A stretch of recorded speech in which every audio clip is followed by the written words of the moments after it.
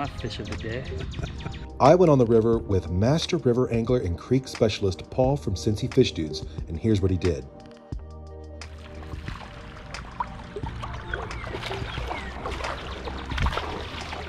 That's a good fish, dude. Oh, watch those trebles.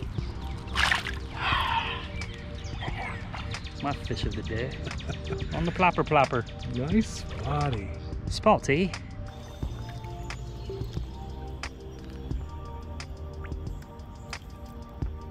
Yo, Paul, what'd you catch that on? My own hand poured Cincy fish grub. Ooh, buddy. I'll let this toothy, toothy boy. All right, it's fun. Right out of the Little Miami River system.